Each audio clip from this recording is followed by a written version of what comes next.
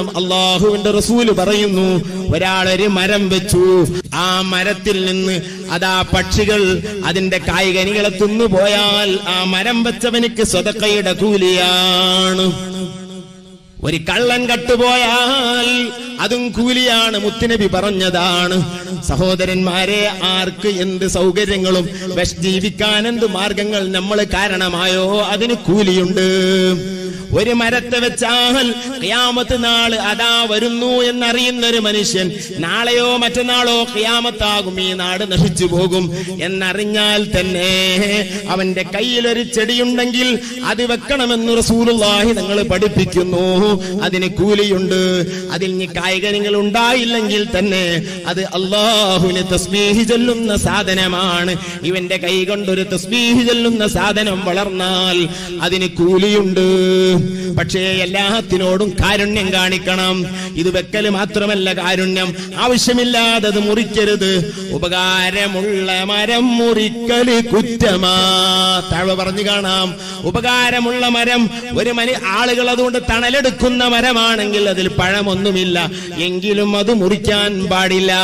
മനുഷ്യന്റെ ആവശ്യങ്ങൾക്ക് വേണ്ടി അത് മുറിക്കാവുന്നതാണ്. ഉപകാരമുള്ളതായാലും മുറിക്കാവുന്നതാണ് ആവശ്യമുണ്ടെങ്കിൽ. അല്ലെങ്കിൽ മുറിക്കുന്നത് ഹറാമല്ലെങ്കിലും അതുകൊണ്ട് അവന്റെ ജീവിതത്തിൽ ദൂഷ്യം വരുന്നതാണ്.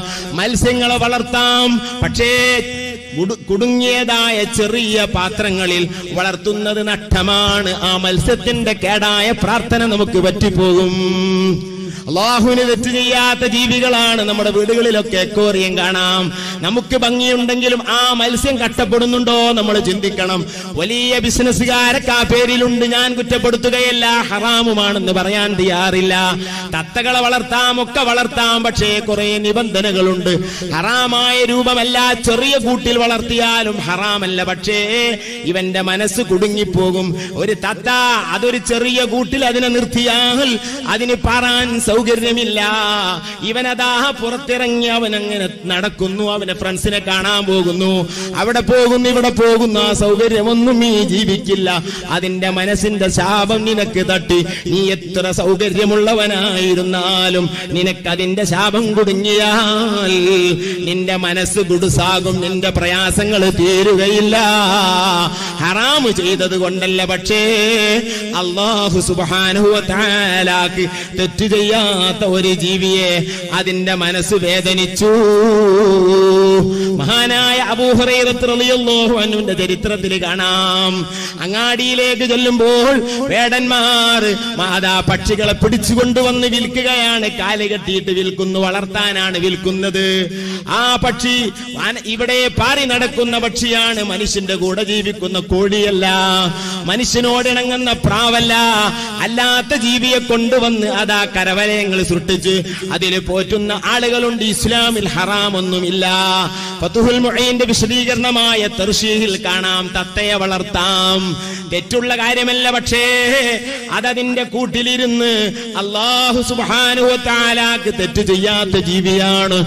അതിന്റെ മനസ്സ് വേദനിച്ചു പോയാൽ അതിന്റെ ശാപം ഇവന് കൊടുങ്ങുന്നതാണ്. വളരെ സൂക്ഷിക്കണം. അബൂഹുറൈറത്ത് തങ്ങൾ അങ്ങാടിയിൽ ചെന്നാൽ പക്ഷിയെ കണ്ടാൽ ഇങ്ങനെ പിടിച്ചു വെച്ച് വിൽക്കുന്നത് കണ്ടാൽ പൈസ കൊടുത്ത് വാങ്ങും.